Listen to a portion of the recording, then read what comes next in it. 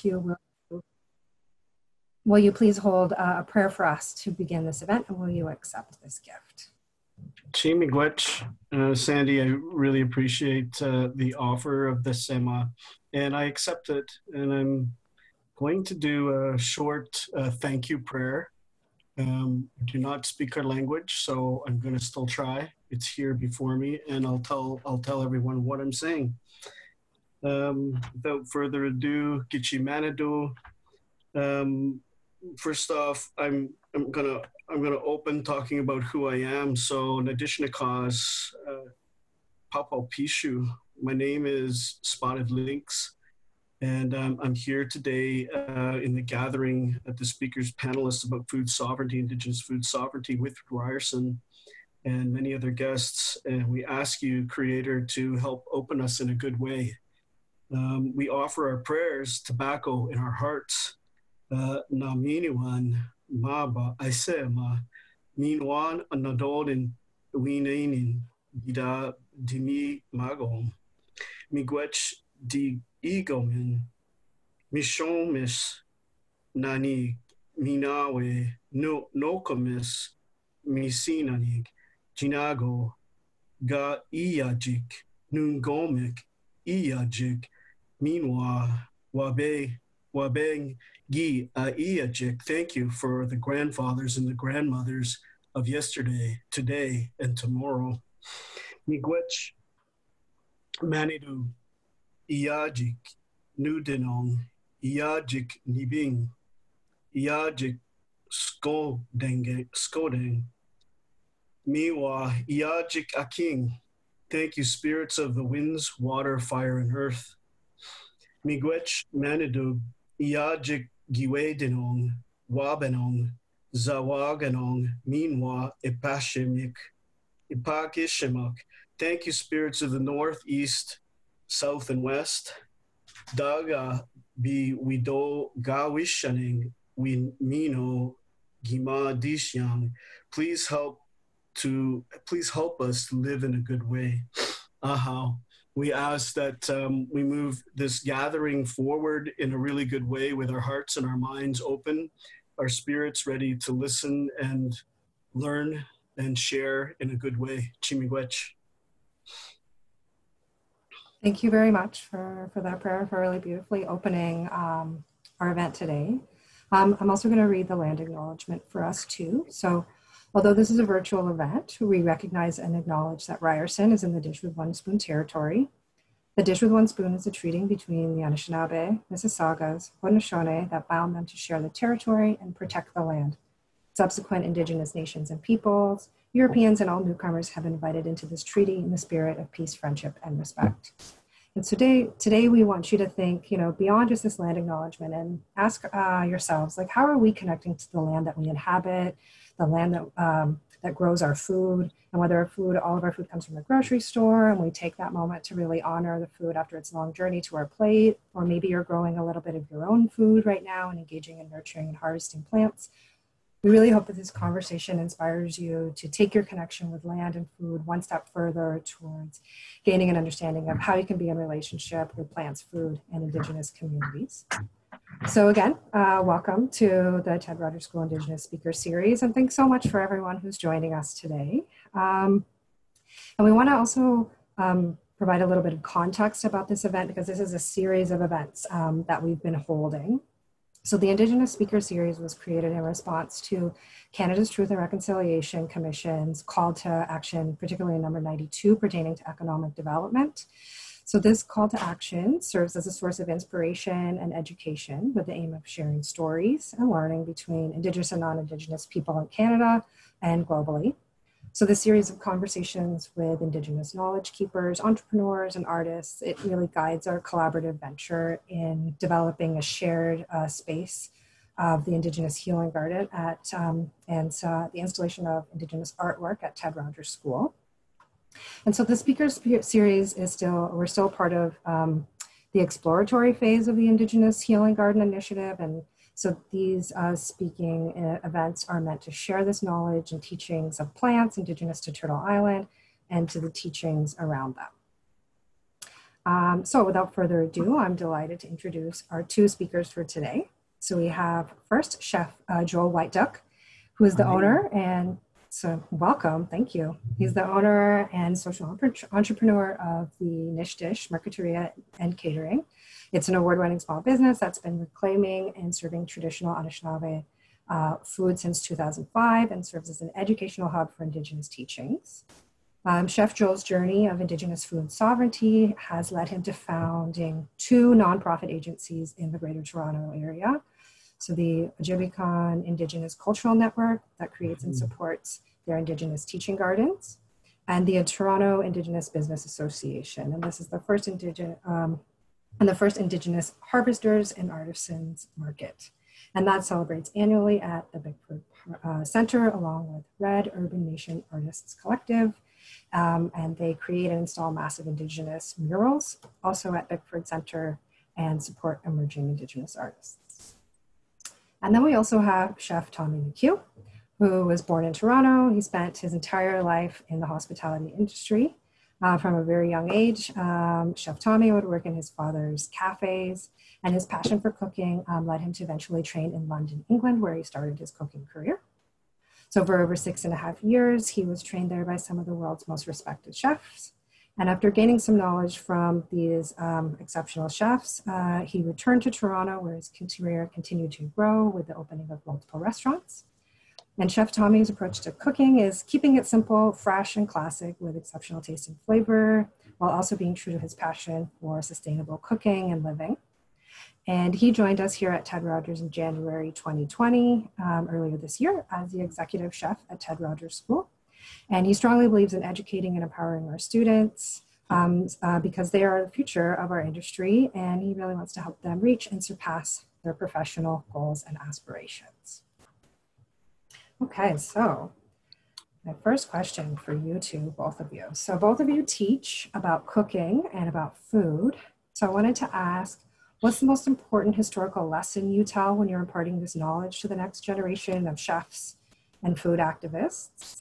And I know this is a bit of a broad question, so maybe just speak a little bit briefly about what's what's one of the most important things that you that you tell to people when they want to learn about food and food activism.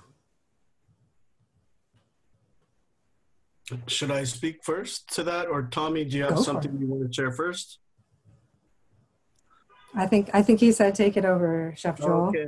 Okay. So in the work that the Nish Dish team has been doing for 15 years now, um, the journey for us and teaching uh, our community members and allies alike about Indigenous food sovereignty is really what is that? Because that's a key is understanding that food sovereignty is actually what it means is that all people have a right to know what their uh, traditional diet is and then get gain access to that.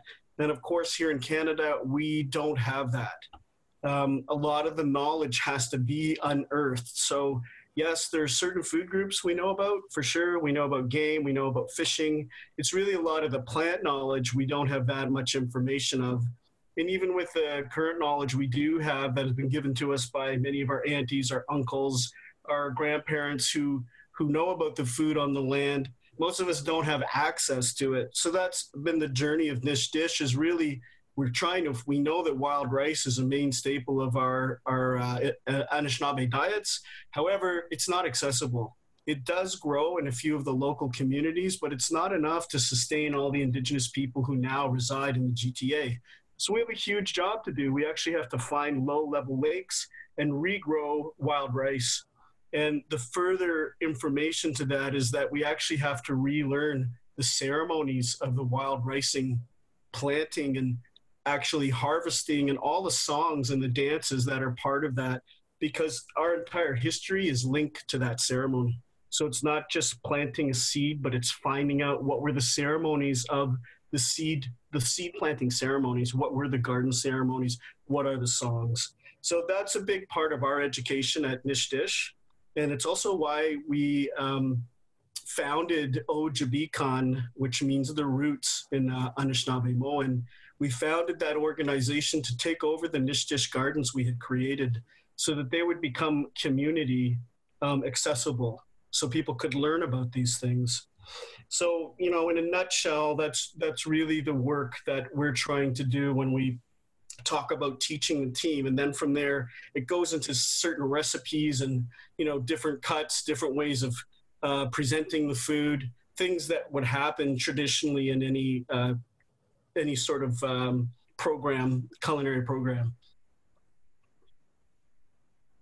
awesome thank you i like this idea of like trying to go back to thinking about how does this all work and bringing people into that a lot what about what about you, Chef Tommy? Do you do you pull a lot of people into the way that you teach as well? I think we might. Oh, his connection just cut out. Okay, maybe we'll give him a second there. Okay, so I can I can add a little bit more to that while we're waiting sure. for Chef Tommy to reconnect. Um, the main the main teacher in our in our Anishinaabe culture is Nanabojo. Many people have heard about this teacher. He's half spirit, he's half human, and he was actually sent by uh, Gitche Manitoulin to name everything across the planet. Mm it's this character that we learn so much from, and we love including that in all of our teachings. It's like learning more about Winnabojo or Nanabojo is what tells us about the whole history of our story in oral uh, teachings throughout uh, throughout time memorial immemorial. So we love um, sharing what we've learned. There are great books out there you can get. Um, one of the most fantastic ones that I've found about recently. I'm looking for it right here. It's actually uh, stories about Winnabojo written by Isaac Murdoch. And it's beautiful. It just got published recently. And I have several copies, but anyway, you can get that online uh, through Isaac Murdoch at, I think they're Om, Omonym Collection, Co- Collective, Artist Collective.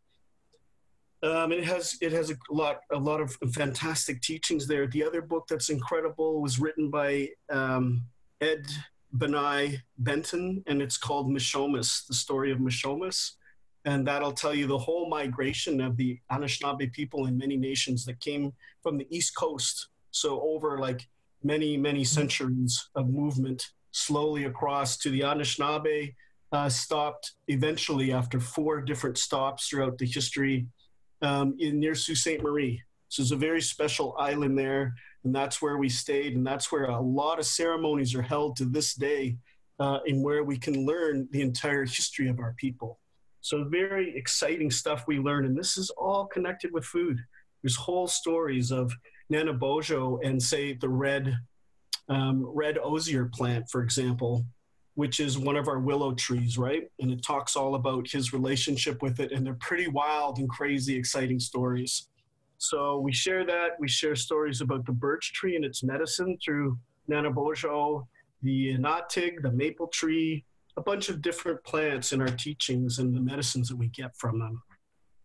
Do you find, I'm really glad you brought up this idea of story as a way to talk about food. Do you find that people connect with that better than like something more step by step, um, like hearing that story? Do people take that knowledge in in a different way? Do you notice that at all? When you say I, I really, rather tell about Nanabojo than like something from the book. Yeah, I, I mean, I feel that our community uh, connects really incredibly with this storytelling. And what I love about it is because it it's done in groups, we get to share. There's going to be someone else in that very group that's going to be able to share more knowledge to the same story. Mm.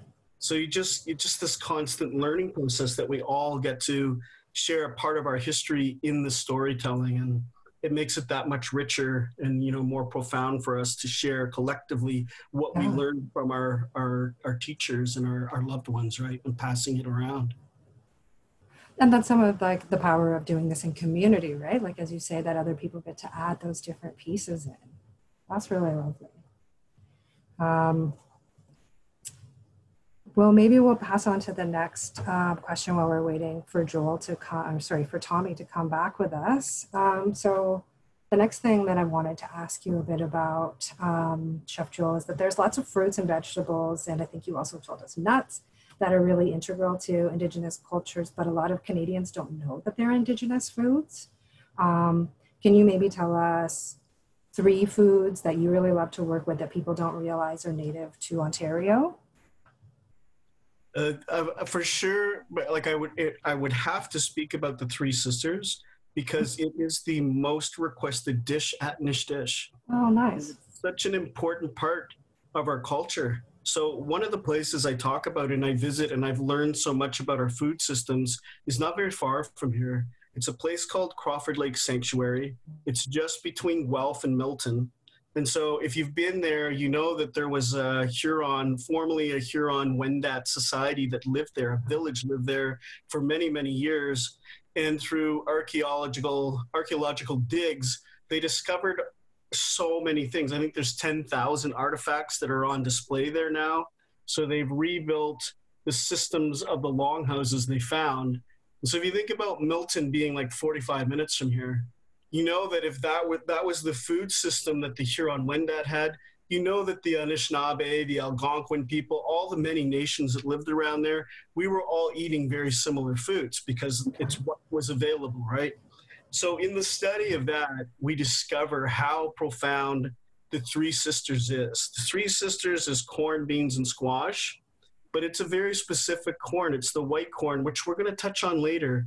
But the point of this is the indigenous agroecology that was done. So, it's the specific uh, companion planting that our people discovered when growing together uh, produce a more vibrant and they revitalize the soil systems so, what came here after when settlers came here and brought mono agriculture?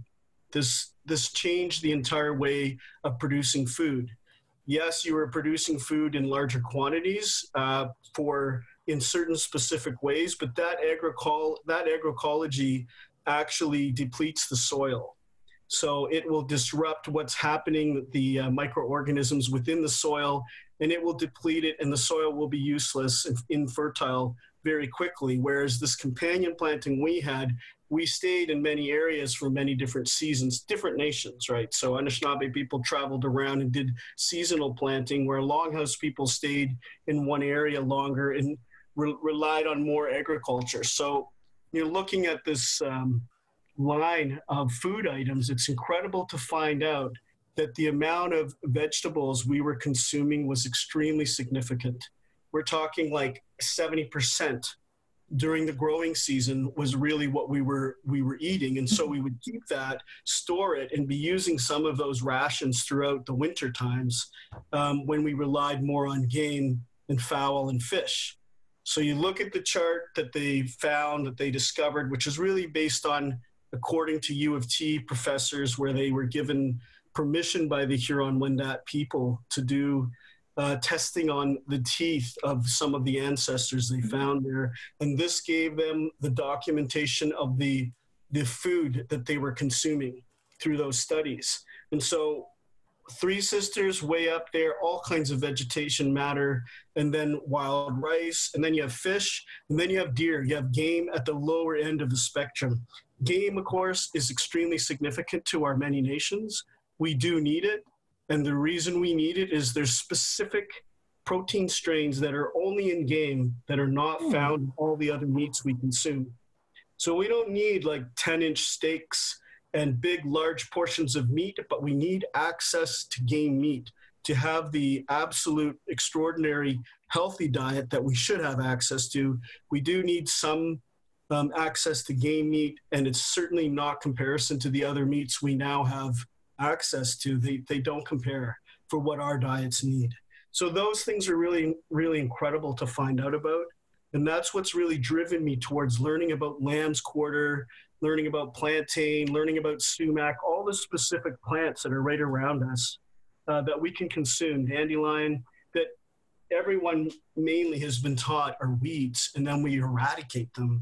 We get rid of them and we do all kinds of damage to the earth trying to um, get rid of weeds when really they're the things we're supposed to be consuming and eating. Um, so exciting to learn these things, and this was part of our traditional diet. That's awesome. I'm I'm really glad you highlighted Three Sisters. Uh, in uh, preparation for this event today, I used the recipe from you to make Three Sisters soup. So that was my lunch today. Oh, to, wow. Fantastic. To fill me up and get me ready and to get me thinking. I made it yesterday thinking about this event today. So I tried to make were an experience. Able, were you able to get access to white corn or were you just able to use the yellow corn? I just used yellow corn, but I did use green and purple beans from my garden. Amazing. That uh, in your in the last chat you did during Indigenous uh, the Indigenous Week events, when you mentioned that planting those three things together that they actually increased their yield. I hadn't put beans right in with my squash and corn, but that day I planted those. So I was Oh, eating the beans that I had planted that day. That in, Yeah, they'll You know? give the nitrogen right to the Yeah. corn. The corn will grow well with that. yeah. Well, you mentioned it was going to increase the yield, and I was like, Yes. the gardener farmer in me says I want more food. Aha, So I did that right away. more. Yeah, that's Wow. fantastic. Yeah. And you're making your soil healthier, right? You're making your soil healthier by doing that.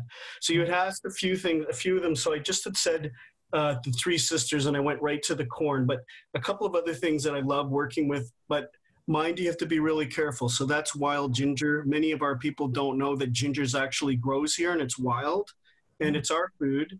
But you have to be very careful when you find it. You need to know how to pick it because the the species is limited now because people overpick it and they kill it because they pick it incorrectly. So wild ginger when I can find it, there's always secret spots. We don't tell a lot of people because then people go and destroy it by consuming it all. Um, and that's a great one to make tea with or add to any of your main meals. Um, but specifically um, that plant. And so someone, one of our uh, amazing team at Nish Dish first brought it to me about three years ago from uh, uh, Cape Croker. That's where he was from, and he brought it from there. So um, as I began to learn more about that plant, that's one of the things I love. I love to work with. So let let Chef Tommy take take the stage here. Well, Tommy, my kind of question to you related to this was going to be um, what some of these foods that that um, Johl just spoke about. Do you use some of those at TRSM? So the Three Sisters and um, Wild Ginger. Um, do you use these at TRSM, or do you do you engage with these as well in your cooking? So we don't. Um, but what happened is that when we, when I first got to the school, of course, I wanted to know everything that was happening at the school. And one of the things that everyone was telling me about was that there was a garden where we're growing food, and it's relatively limited. And you know, as we threw out there that we were going to start you know, growing more this summer, that's when you know the healing garden conversation we heard about and we were invited into and that's when you know I started hearing about um, the idea of, of possibly you know doing more there.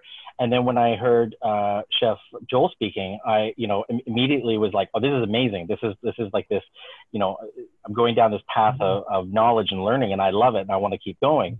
And so it, it kind of like in uh, what I was saying to to Chef Johl the other day was, you know, the more I hear about these things, the more I start to find out what was, you know, local, the more I want to know about it. And the more I Mm. want to sort of encourage the behavior of, of, of, of, of, of us, you know, uh, having a better appreciation and consuming more and getting people to, as a whole, understand more.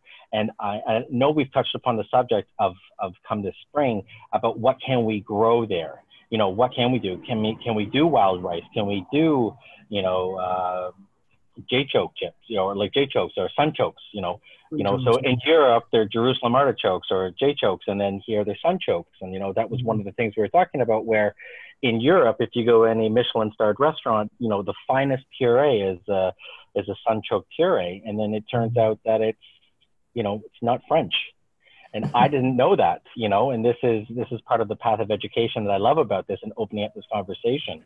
But then also talking about the tradition with, that you talked about, it's funny where you know chefs, you know, I, I'm a classically trained chef.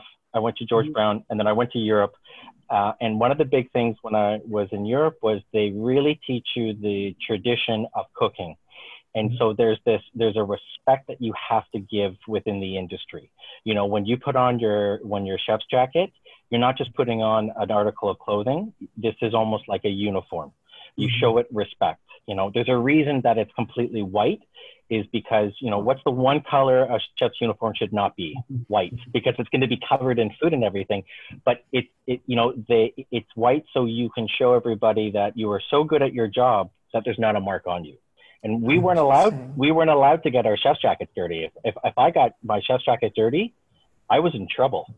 You know what I mean? I had to go get changed right away. So, you know, the tradition of, of food is is something that was in you know in in that style was something that was uh, educated into me.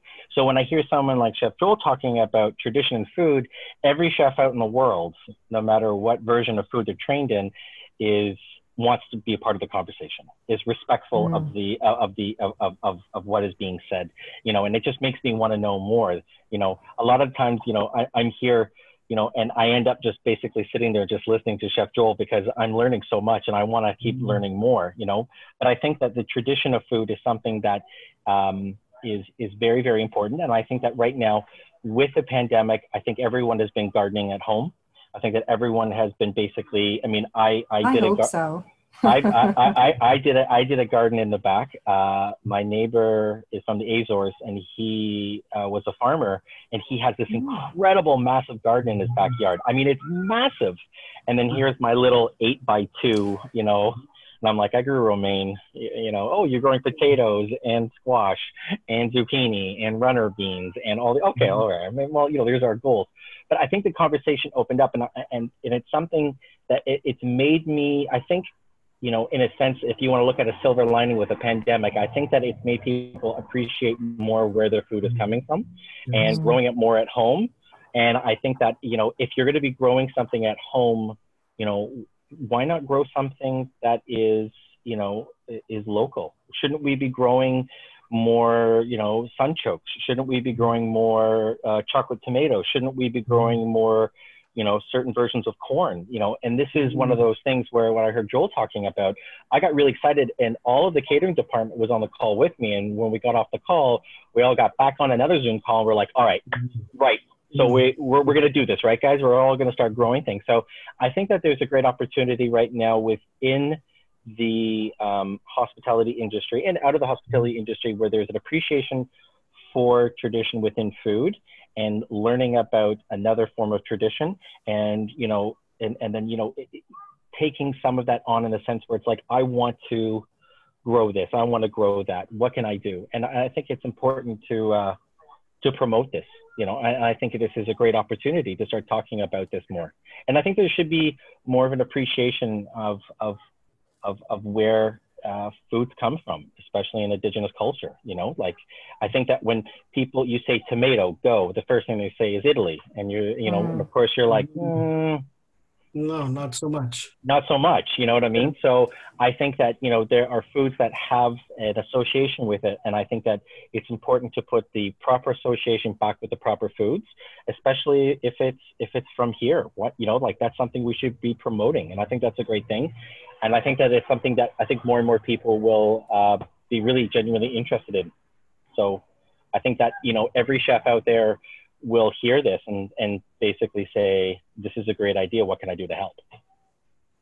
Yeah, food is really exciting.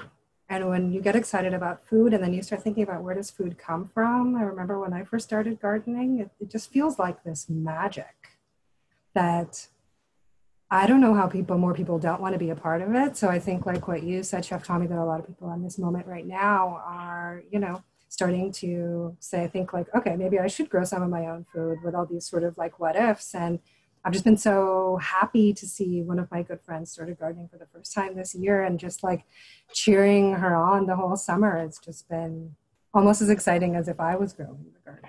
Yeah, and the other thing too is that I think you know I have a uh, almost two year old and a four and a half year old, mm. and to see my kids' eyes light up every day coming in and saying, "Well, how, how come this tomato is now red when before yesterday it was green?" And I think that it also helps with uh, more of appreciation of the environment. And so mm-hmm. you have this list of things that we should be doing, and it, it checks them all off. So I think that there's a lot of people that are going to be very supportive of this.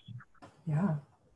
I, I think you're talking to about traditions is, is a really good segue into to our next question too, because mm. um, I wanted to, you know, Chef Joel, you've already talked a bit about how songs and dances and these different um, ceremonies related to plants. So I wanted to know maybe what are some of those that are important to you, and if Chef Tommy, you have any sort of traditions that that are also meaningful for you around food that maybe you always do when you prepare food, or things that you like to share maybe with your kids. Uh, so, uh, I'm like the story of how I came to do this work is a, is a long one. I believe it's on the website of nishdish.com. But, but so very quickly, um, I was working in the criminal courts at uh, Gladue Court for 10 years, uh, Aboriginal People's Court. And during that time, we were responsible for a diversion program where we had to get food of our community members that would come in and support that diversion program. So every time we went to do that, we'd have to order like sandwiches or soup or something that just, I couldn't find indigenous food anywhere. I couldn't find the food that I was raised on. My dad was a hunter. We, we went fishing. My mom took us on berry picks all the time. We tapped trees. We did a lot of things, and I didn't know that's what we called traditional food because nobody spoke about it. We just did those things in our household. No one said mm. this is the Anishinaabe diet. Like that wasn't said. So when I came to Toronto, we couldn't find our food. So I started looking, still didn't find it. I went uh, talk. I went to talk to my medicine teacher. His name is Mark Thompson. Mark Thompson is the one who told me I had this journey to go on. He told me that I had a gift for traditional food. He wasn't aware, at least we didn't have conversations about the fact that I'd worked in the food industry since I was 15. So he told me I had this gift and I wanted to pass on those Gladue tools to someone else and go on the journey to bring back the Anishinaabe diet to the community here. And during that time, the one thing, if I chose to do that, was I would have to continue to smudge the food and put down spirit plates. And at some point, Nish Dish, he said, would become so successful that I would need an in house elder. And we've been in that place now. We just haven't been able to find someone who can be with us 100% of the time. So the team at Nish Dish does the plates and we smudge the food. And that's what we continue to do uh, on behalf of our teachings. So it's also the reason why we didn't keep the liquor license that was in the location uh, when we purchased it. When we purchased the lease, we could have taken on an, uh, a liquor license. People often ask me why we aren't serving it. It's because, of course, we work with the traditional sacred medicines, and those two things don't go together.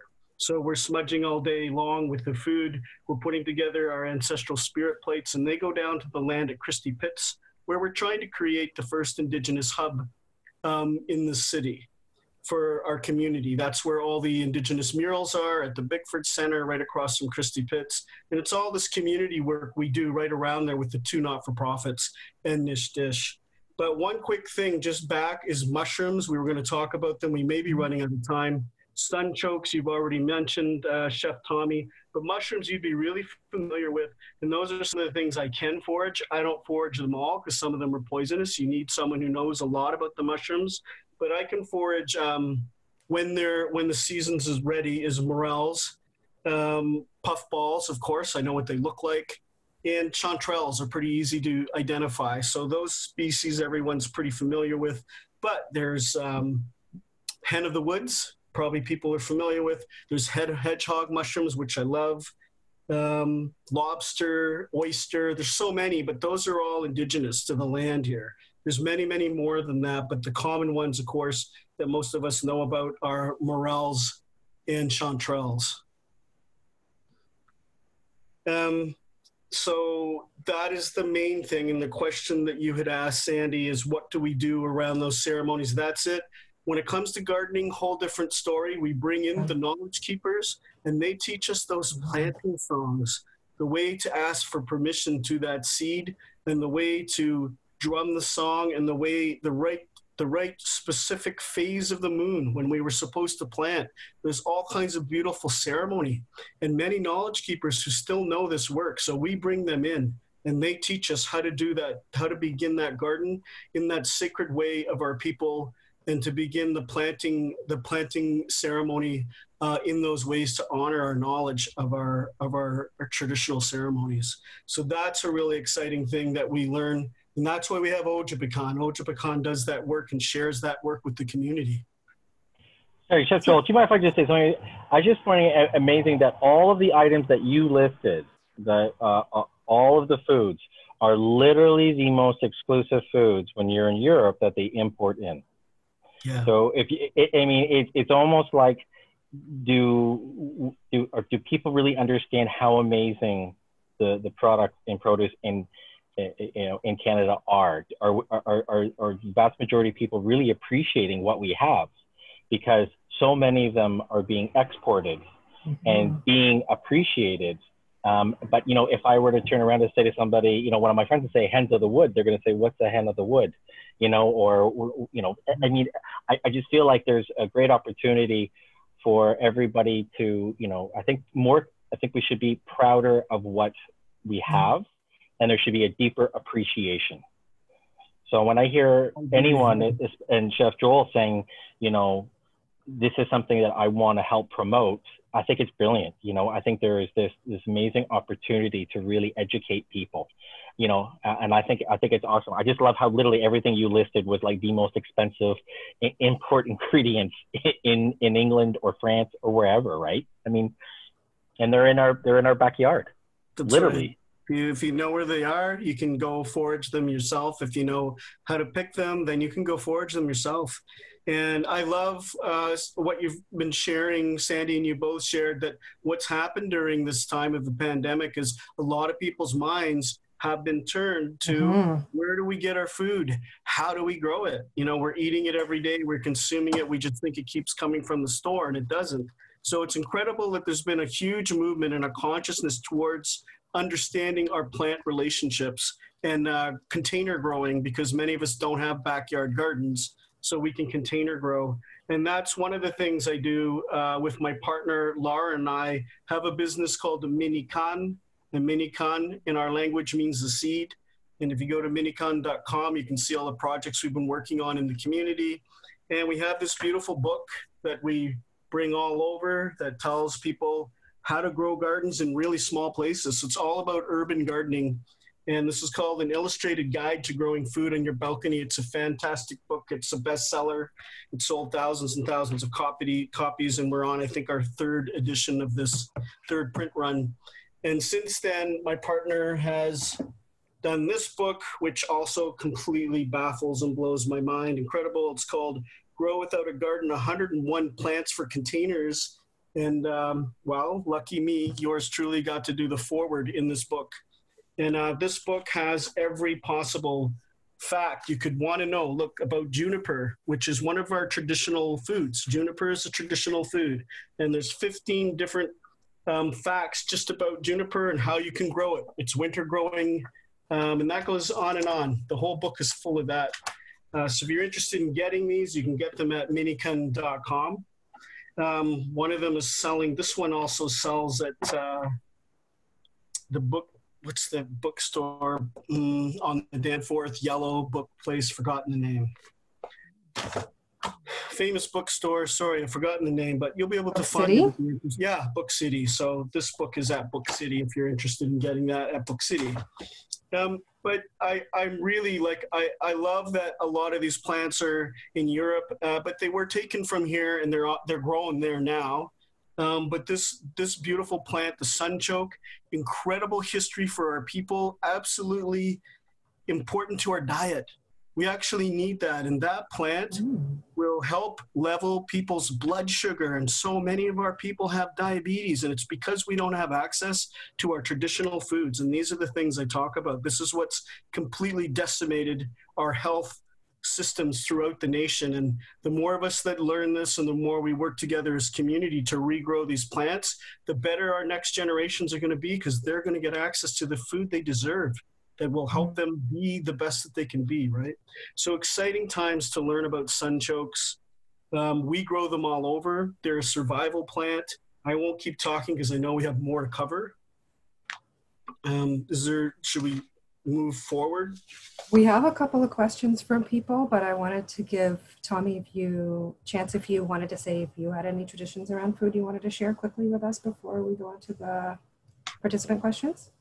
Sorry, uh, uh question about what, one more time. Sorry, you cut out. My connection is so bad. I apologize. It's okay.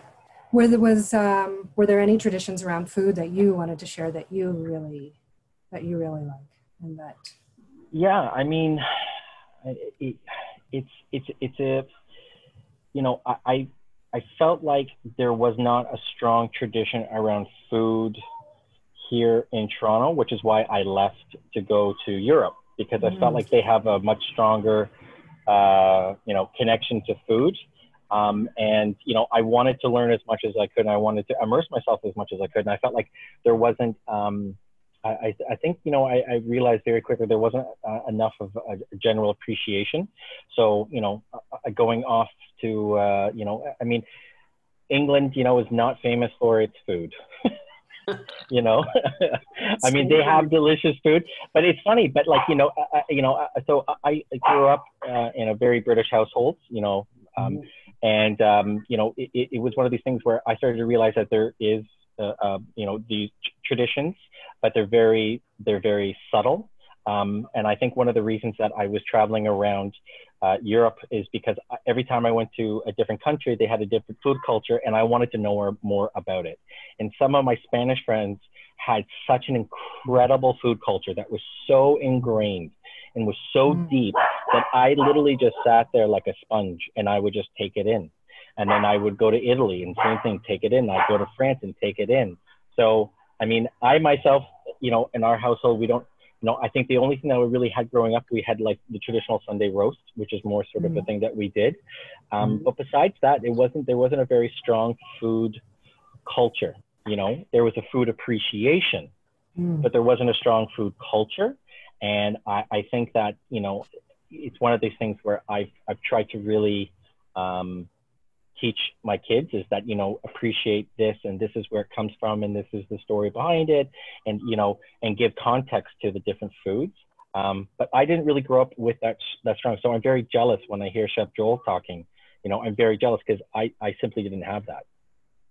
I, I grew up i think in a similar place where like or similar way to you where we really enjoyed the food and my mother is a fantastic cook and baker but there was no discussion about where the food came from Yes. And so when I started to to garden, it felt like such a wonderful privilege. And you know, you feel this maybe jealousy about Johl, but I, I think it's an opportunity to share that then with the next folks, right? We've got right. small children.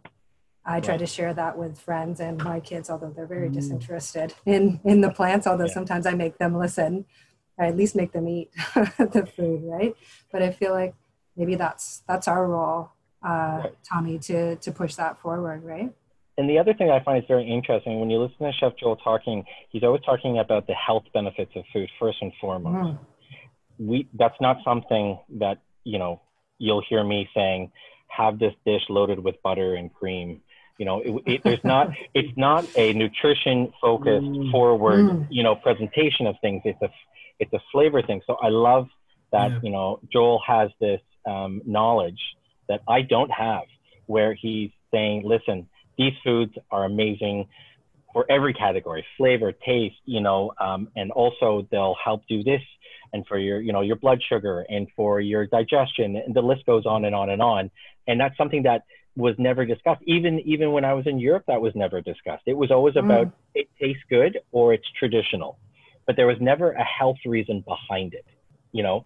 And I and I love hearing this. And I think this is an incredibly important conversation that everybody needs to have about food. That food, you know, can either be incredibly beneficial to you or can be very dangerous to you, depending on what you eat and how much you eat of it and what you put together. You know, um, so I, I try to keep butter out of as much cooking as possible, you know, but it, sometimes it's hard. yeah. And that's what's exciting about food sovereignty too, right? Is that it brings those things together, that it's about how to be healthy in your food as well, right? Uh, if I yeah. if I understand that correct, Johl. Yes, absolutely. And I mean, of course, we had all kinds of different oils we used in our food, but they were they were taken from seeds, and those seeds yeah. are from mm. specific plants that we we don't really access anymore. So if you're actually looking for an oil to cook with, and you're indigenous, should be really looking at oils like sunflower oil because that is the main staple of our diet. That means our people were consuming this for many thousands of years, right? So it's and also you can cook with it at high temperatures. So it's important to learn these things about food. We had so many different ways of cooking. That's another thing is that we've been told that we didn't even have metal when in fact we know that we did.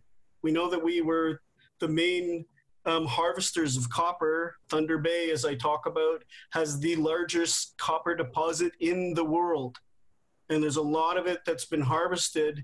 And I talk about this too. There are only two theories about where the harvesting of that copper went to, and indigenous people aren't included in those Mm. theories.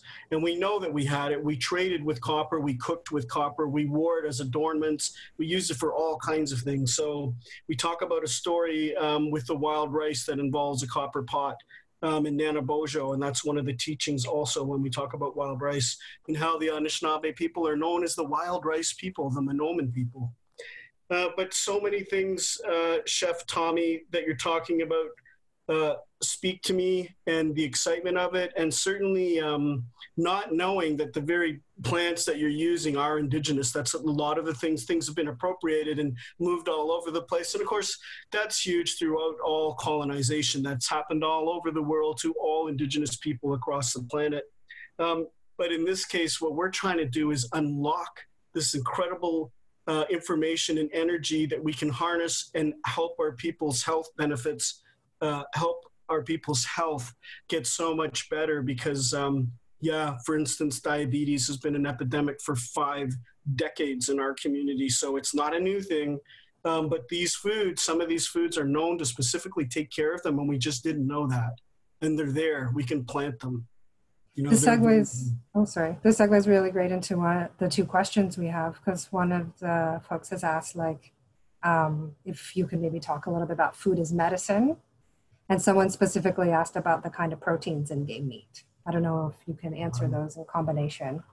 Um, I can only answer a little bit um, about the the protein uh, game strains. Uh, I know this through a teaching, and when we when we try to pass on teachings, we always try to talk about where they came from. It's a really important thing that we honor in our culture, and so it's Elder Rebecca Mortel, who I believe is from Saskatchewan. She spoke to this, and this is where I learned this information. Now, I can't remember exactly who the anthropologist or doctor was who did this, but he specifically got uh, this is what I was told. He got permission uh, from the Cree and I think the Blood people and did studies on why the mass numbers of our people perished. And it was specifically, of course, we know we know the buffalo were taken away, and that's what the buffalo. The buffalo is what what we we're absolute way of life, not just the the main form of food, but the buffalo did everything for our people in, in that location, in those communities. And of course, buffalo were as widely as into Ontario. They weren't just out in the plains. But so it was in that teaching that Rebecca Mortel talked about the specific protein strains that are only found in game meats. And then there was portions, and I remember learning about that, that, you know, really, if we could get one, even it's a small portion of game meat a week, that's plenty that will do it. That will harness your body's needs. So you don't need to eat a ton of it because it's really hard to get, number one, if you're living, especially in the city. But it's really important to get. Now, if you're a vegan, you want to combine the other things like the like the the three sisters. You really want the three sisters and that white corn in your diet to get those high protein strains that are inside that white corn, and combine them because that's where you get the synergy that our people use to to have longevity throughout days because we did long physical days of work and it was the three sisters that provided that energy and game meat so that's what i can speak to in that in terms of medicines it's in all of the food you just have to know which right which food is holding what so of course we know berries if we look at the 13 calendar moon we know in the berry seasons are several but the main berry, of course, is the heartberry. That's in June. That is loaded with antioxidants. All berries are loaded with antioxidants. They clean our blood. Really important to consume a lot of berries. Very hard to get wild berries unless you're picking them yourself. So wild berries, of course, they're going to have a lot more uh, medicinal value, but it doesn't mean that the cultivated ones don't. It just means they will have less. So anytime you can get berries, definitely consume uh, berries. And um, sunchokes, same thing. Sunchokes is loaded with um, several different vitamins, and I can't name them all right now. But that particular plant, which very few of us eat, is in our three gardens, and it can grow anywhere, and it grows rampantly. So if you plant it, it will take over your whole garden. And you leave it to late November, if you can, before the ground freezes and you pull it up, because that's when it's going to be really large. It's very gnarly, looks like a starchy potato, but not a starchy potato. And of course, it will help, unlike potatoes, potatoes won't help diabetes, but the sunchoke will. The sunchoke levels the blood sugar levels. Um, that's as much as I'll speak right now because I know there's a lot more to probably get to. Thank you. This is awesome. It makes me feel really good about my my little berry patch in the front yard that I'm cultivating. I also learned recently from Elder Joanne Dallaire that the green part of a strawberry is actually medicine too. Yes. So I would have only thought about the, the berry itself. So I started actually eating the greens of the strawberries from my garden recently So for medicine. I started doing that after that as well. Yeah, Yeah. it's good. All right, Chef Tommy, we have maybe like a few seconds. Do you have any foods you use for medicine? Um, you know, I, I think the only thing I, I try to do is I, I try to do a smoothie in the morning, uh, and Mm. I try to I do try to pile it with as many berries as possible, like Chef Johl was saying. You know, um, you know, I do use hemp hearts, chia seeds, and a few other things to get some fiber in there as well.